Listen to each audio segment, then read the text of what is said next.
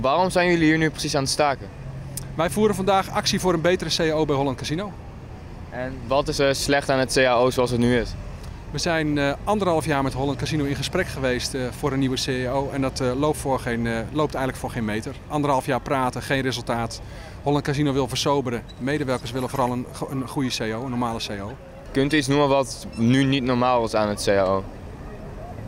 Nou, wat niet normaal is, is dat deze medewerkers in de crisisjaren hun steentje hebben bijgedragen ongeveer 10% aan salaris hebben ingeleverd. En dat het huidige bestuur van Holland Casino eigenlijk, ondanks dat het heel goed gaat met het bedrijf, wil dat het inleveren doorgaat. En dat mensen niet alleen qua loon, maar ook andere arbeidsvoorwaarden blijven inleveren. En ja, dat is voor ons echt een brug te ver. En jullie zijn nu aan het staken, maar hebben jullie hiervoor ook al andere dingen geprobeerd naast het alleen in gesprek gaan? Ja, we zijn begin 2016 begonnen met herstel van vertrouwenssessies. We hebben processen van co-makership gedaan. Het overleg is opgeschort geweest.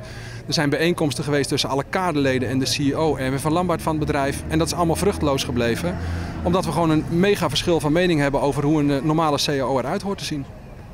En stel je voor, dit gaat niet werken, het haalt niks uit. Wat gaan jullie dan doen? Nou, voorlopig zijn we nog niet klaar.